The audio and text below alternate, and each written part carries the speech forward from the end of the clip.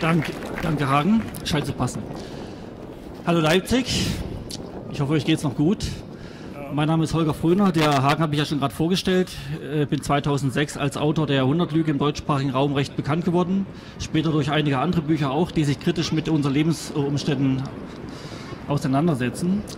Und weil ich demzufolge besser schreiben als reden kann, habe ich mir erlaubt, mal ein paar Stichpunkte zu machen, beziehungsweise das, was ich sage, in Schriftform mitzubringen. Der Glaube ist eine starke Angelegenheit. Als wir noch Kinder waren, da glaubten wir an den Weihnachtsmann. Wir hielten dafür durch unser Umfeld alle wichtigen Informationen, die für unseren unerschütterlichen Glauben nötig waren und welche wir natürlich am Nordpol nicht überprüfen konnten. Also verteidigten wir diese Wahrheit vehement gegen jeden Ungläubigen. In der Schule glaubten wir an die unveränderbaren Wahrheiten, die uns in verschiedenen Fächern vermittelt wurden. Auch die Vorkommnisse der Geschichte glaubten wir, da wir die Informationen, die uns als Tatsachen erklärt wurden, wieder nicht nachprüfen konnten. Und wir lernten neben diesen vermeintlichen Tatsachen noch andere wichtige Dinge für unser Leben, nämlich zu funktionieren. Später wollten wir informiert sein, lasen Zeitungen und schauten Nachrichten. Und weil es in unserem Leben immer so gut funktionierte und wir immer mit allem, was wir wissen mussten, versorgt wurden, hatten wir uns schon so sehr daran gewöhnt, dass wir nicht auf die Idee kamen, etwas zu hinterfragen. Im Gegenteil. Die Nachrichten über die Welt wurden ungeprüft zu unserer Realität. Und nun sind wir angekommen in einer Welt, die wir zu kennen glauben. Alle sind informiert, jeder weiß über alles Bescheid. Und jeden, der es auch nur ansatzweise wagt, etwas vom offiziellen Mainstream anzuzweifeln, halten wir entweder für rechts oder links, einen Terroristen oder einfach für einen Verschwörungstheoretiker. Ja, wir haben es gut in unserer Welt. Auf alle Fragen gibt es im Fernsehprogramm passende Antworten. Wir können uns also ruhig zurücklehnen und zur nächsten Unterhaltungssendung umschalten. Für Gesprächsthemen wird gesorgt. Und so leben wir in dem für uns vorgesehenen Rahmen und glauben fest, dass alles in Ordnung ist. Der Glaube ist eine so einfache Angelegenheit. Und während der Großteil unserer Mitmenschen das eigenständige Denken innerhalb der gerade geschilderten Situation längst aufgegeben hat und nur noch roboterhaft die fortwährend eingepflanzten Fehlinformationen nachplappert, erwachen andere und erkennen, dass etwas schiefläuft in unserem Land. Und nicht nur hier. Die Medien berichten über konstruierte Wirklichkeiten. Man hat das Gefühl, die eigene Realität kommt in den Zeitungen und Fernsehsendungen immer weniger vor. Politik wird nicht nur für Menschen, sondern für ein Finanzsystem und Großkonzerne gemacht, deren Wert für die Verantwortlichen in der Politik weit über dem Schutz der Menschenwürde steht. Immer wieder wird auch mal zu einem neuen Krieg geblasen. Diesmal muss unsere Freiheit, die in den letzten Jahren immer weiter eingeschränkt wurde und die vor lauter Überwachung diesen Namen gar nicht mehr verdient, nicht mehr im Hindukusch, sondern in der Ukraine verteidigt werden. Und diejenigen, die dies alles immer besser erkennen, die aufstehen und sich sagen, dass das alles nicht mehr länger einfach so hingenommen werden kann und beginnen etwas dagegen zu tun, während es dem Großteil unserer Mitmenschen derzeit wichtiger ist, mit bunten Fähnchen ein paar Millionären beim Spielen zuzuwinken, diejenigen sind die wahren Vorbilder unserer Nation. Ihr alle seid das.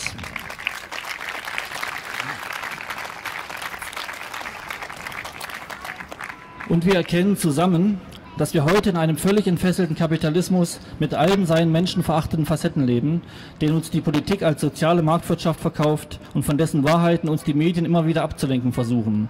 Bei einem Großteil unserer Mitmenschen funktioniert das leider immer noch zu perfekt. Während der einem zynischen Realismus verfallene Gutmensch sich einbildet, das aufgeklärteste Wesen der Welt zu sein, lässt er nahezu alles mit sich machen, nimmt die unglaublichsten Zumutungen fatalistischer hin als ein orientalischer Mystiker und lässt sich größer in unseren einreden als ein mittelalterlicher Bauer.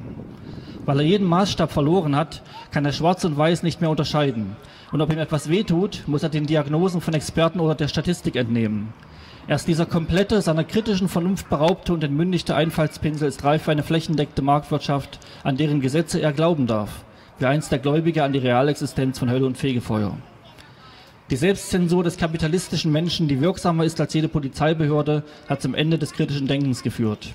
Und so erklären die Medien ihm fortwährend, was er wie, wo und wann zu sagen hat, von wem er was und was er sich zu distanzieren und mit wem er sich zu verbinden hat. Sie wiederholen das, was sie seit Jahrzehnten stereotyp wiederholen und was ganz offensichtlich keinen Deut an gesellschaftlicher Änderung herbeigeführt hat. Sonst würden wir nicht zu tief in einem ne neoliberalen Sumpf feststecken, wie wir es gerade tun. Aber statt darüber nachzudenken, warum es trotz einer linken Mehrheit in der Bevölkerung keine einflussreiche linke Bewegung gibt, denunziert man jeden, der selbst aktiv wird. So gräbt man gesellschaftlicher Veränderung das Wasser ab und stabilisiert das, wogegen man zu sein vorgibt. Während den Anfängen mag für Kritiker der Slogan sein, aber wenn er unterschiedslos allen Anfängen wehrt, dann bleibt es eben auch für alle Zeiten gleich.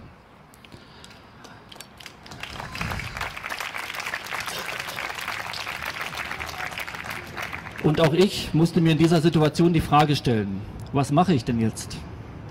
Muss ich jetzt die Augen verschließen vor den Verschwörungen, die weltweit zu beobachten sind, mir die Ohren zuhalten und schweigen über das, was mich wirklich bewegt? Darf ich meine Heimat nicht mehr lieben? Darf ich nicht mehr aufrecht und selbstbewusst meine Rechte und die meiner Mitmenschen einfordern? Darf ich die amerikanische und deutsche Regierung nicht kritisieren und in Frage stellen? Muss ich jeden Satz beginnen mit Ich distanziere mich von? Ich sage nein, das muss ich nicht. Ich bin ein freier, reflektierter und starker Mensch, der seinen bescheidenen Beitrag dazu leisten möchte, die Welt zu einem besseren Ort zu machen. Und ich will, dass diese Bewegung erfolgreich ist. Das ist ungeheuer wichtig für uns und die ganze Welt. Ich glaube, wir ahnen kaum, wie wichtig das ist. Und wir werden erfolgreich sein, weil jetzt die Zeit für den Wandel gekommen ist. Es wird alles gut und alle Differenzen, die jetzt noch unüberwindlich scheinen, werden sich bald im Wohlgefallen auflösen. Es ist jetzt einfach an der Zeit. Doch denke ich dann nicht viel zu positiv, wo doch gerade die Besucherzahlen der Montagsdemos rückläufig sind, wo genau diese Entwicklung gerade vor ein paar Tagen dazu führte, dass Politikvertreter in den Medien schon äußerten, dass die Montagsdemonstrationen schon ihren Zenit überschritten hätten, die Sache wohl nicht mehr lange andauern würde und man sich schon bereit machen müsse, die fehlgeleiteten Bürger wieder in die Gesellschaft zu integrieren? Wollen wir dieses Frohlocken unserer Herren einfach widerstandslos hinnehmen? Wollen wir jetzt einfach so aufgeben und uns die Initiative wieder aus der Hand nehmen lassen, wie dies zum Beispiel bei Occupy 1 der Fall war? Ich sage ganz klar, das dürfen wir auf gar keinen Fall zulassen.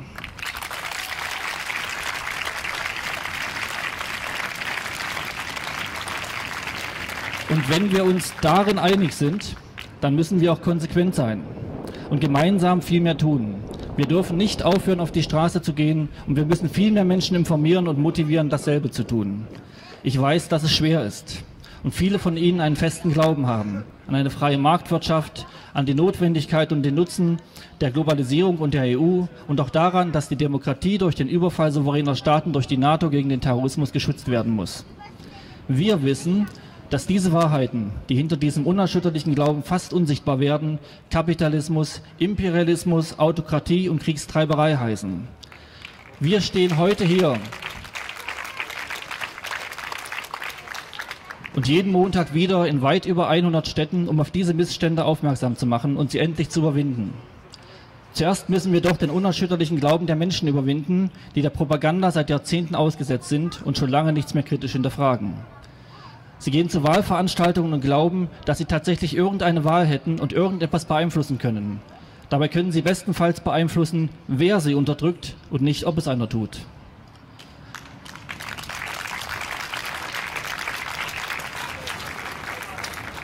Und sie glauben, dass die Kriegseinsätze in Äthiopien, Eritrea, Kambodscha, Afghanistan, Somalia, Usbekistan, Osttimor, Bosnien und Herzegowina, Mosambik, Georgien, im Golf von Aden, am Horn von Afrika, Djibouti, Indonesien, Kuwait, im Kosovo, Mazedonien, Sudan, Kenia, Irak und Uganda, um nur die wichtigsten Einsatzorte der Bundeswehr zu nennen, humanitären Zielen dienen.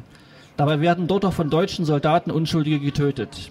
Nachrichten über solche Vorfälle, wenn sie überhaupt einmal vorkommen, nehmen die Menschen emotionslos hin, weil dieser Zustand mittlerweile zu einer Normalität geworden ist.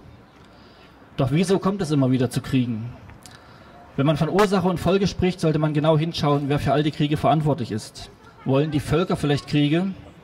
Nein, sie werden manipuliert durch lobbygesteuerte Massenmedien und wiederkehrende Lügen aufeinander gehetzt. Durch diese wurde ein arabischer Frühling genauso inszeniert wie jetzt der Krisenherd Ukraine. Und wer sind die Drahtzieher, die schließlich auch von den Kriegen profitieren? Sind es nicht dieselben, die uns mit Pestiziden, Gentechnik, Atome und Aspartam vergiften und, und sich dabei dumm und dämlich verdienen? Sind es nicht diejenigen, die mit dem an Börsen auf hochkriminelle Weise spekulativ zusammengerafften Geld unter der verharmlosenden Bezeichnung Privatisierung die ganze von uns allen finanzierte, also volkseigene Infrastruktur, Post, Bahn, Telekom, Wasserwerke, Grundstücke und so aufkaufen und nachdem das Werk vollbracht ist, zulasten aller Menschen die Währung zusammenbrechen lassen, was angesichts der aktuellen Situation nicht mehr lange andauern wird?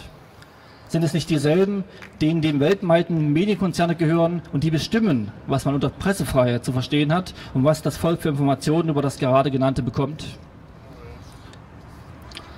Kapitalismus und Krieg sind zwei Seiten einer Medaille.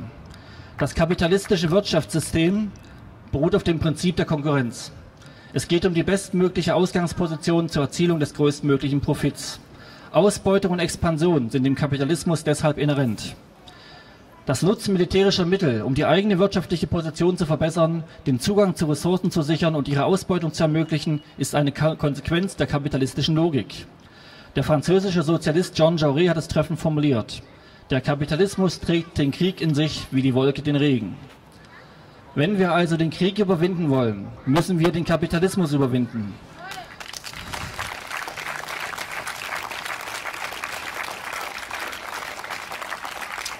Dafür lautet mein erster Ansatz, sich von dem Diktat der Amerikaner und der EU zu befreien und amerikanische Nuklearwaffen von deutschem Boden endgültig zu verbannen.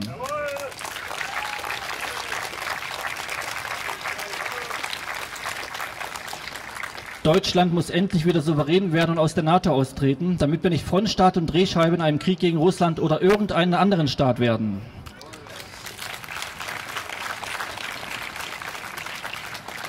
Angesichts der historischen Verantwortung Deutschlands kann die Antwort letztlich nur in einer Neutralität unseres Landes liegen. Die Schweiz ist dafür ein gutes Vorbild. Und wer da denkt, die Politik müsse dafür in immer wieder neuen Petitionen angerufen werden, der versucht auch nur wieder Verantwortung abzugeben und verkennt dazu noch völlig die Situation. Denn unsere Politik macht das alles erst möglich. Während die Politiker völlig gewissenlos immer neue Kriegsherde schüren und uns darin verwickeln, verstecken sie sich hinter ihrer Immunität. Ich sage, es darf für Kriegstreiberei keine Immunität geben, gerade in Deutschland nicht.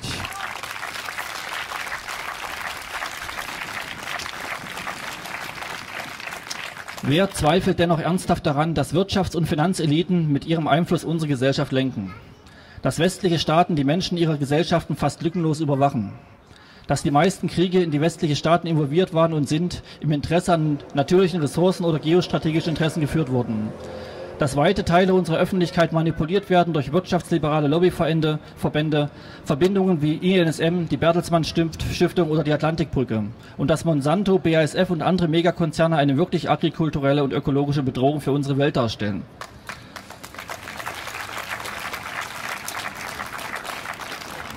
Unsere Politiker sind heute sehr gut eingebunden in die Aufsichtsräte der Banken und Konzerne und in den Vorständen der verschiedensten Verbände. Nicht um dort unsere Interessen zu vertreten. Sie haben sich schon längst an die Meistbietenden verkauft. Was die einfache Erklärung dafür ist, dass alle politischen Entscheidungen in der BRD konsequent gegen die Wünsche der Menschen und der Mehrheit des Volkes und gegen seine Interessen gerichtet sind. Und so wird unsere Gesundheit, schon lange überbelastete Lebensmittel, eine verstrahlte Umwelt und neuerdings durch Fracking gefährdet. Wie lange wollen wir uns das noch gefallen lassen?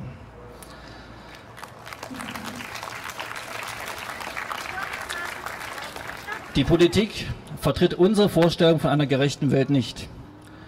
Und es gibt im sogenannten Bundestag auch keine Opposition mehr. Die Opposition steht hier.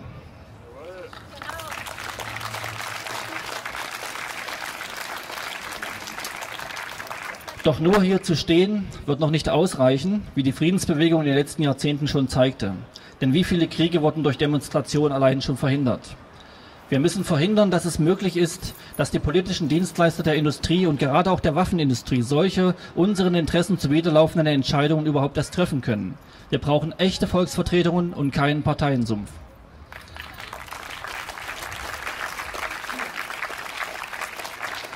Ein kluger Mann sagte einmal, man hört oft, das Problem wäre ziviler Ungehorsam. Aber das ist nicht unser Problem. Unser Problem ist der zivile Gehorsam.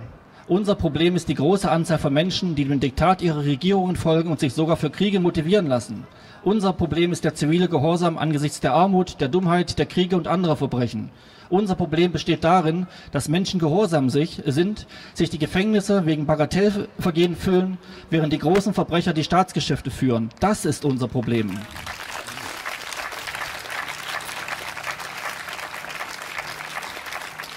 Was können wir also tun? Die Entwicklung der Montagsdemonstration hat gezeigt, dass es viele Menschen in Deutschland gibt, die sich einbringen und unser Land neu gestalten wollen, weil sie mit den derzeitigen Zuständen mehr als unzufrieden sind. Wir kommen jetzt an einen Punkt, an dem wir gemeinsam erarbeiten und sagen müssen, wie denn eine Veränderung der Gesellschaft überhaupt zu erreichen wäre. Und damit wir aus dem Reden ins Handeln kommen, damit wir endlich anfangen, unsere Welt neu zu gestalten und zusammen mit allen Montagsdemo-Teilnehmern und Unterstützern, oppositionellen Gruppen, Vereinigungen und allen interessierten Menschen eine Vision, neue Motivation zu schaffen, ist das Forum Zukunft entstanden. Dieses versteht sich als Plattform des Austausches von Ideen darüber, wie wir unsere Welt haben wollen. Als Grundlage nehmen wir dafür das Grundgesetz und werden es Stück für Stück kritisch analysieren, unsere Ideen einbringen und verbessern, bis es eine Qualität hat, die wir zur Volksabstimmung gemäß Artikel 146 stellen können, um damit eine unabänderliche Verfassung zu schaffen, die ausschließlich den Willen des Volkes in sich trägt.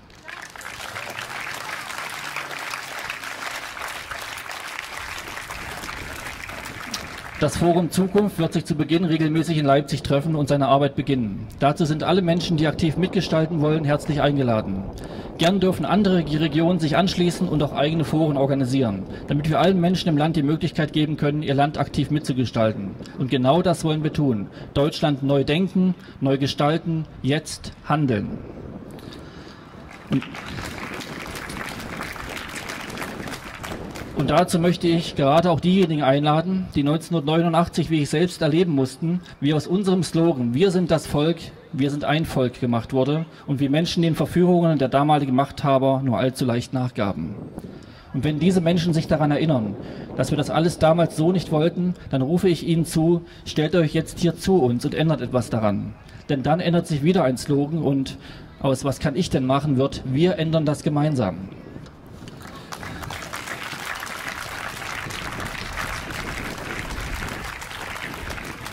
Da rufe ich jetzt alle Menschen in Leipzig und auch in allen anderen Städten auf, sich daran zu erinnern, wie es ist, sich füreinander zu interessieren, Hilfsbereitschaft zu zeigen und gemeinsam etwas zu verändern. Nur gemeinsam geht es. Ich richte meine letzten Worte an alle die, die anders denken. Die Rebellen, die Idealisten, die Visionäre, die Querdenker, die, die sich in kein Schema pressen lassen, die, die Dinge anders sehen. Sie beugen sich keinen Regeln und sie haben keinen Respekt vor dem Status quo. Und während einige sie für verrückt halten, sehen wir in ihnen Genies. Denn die, die verrückt genug sind zu denken, sie könnten die Welt verändern, sind die, die es tun. Schönen Dank für die Aufmerksamkeit.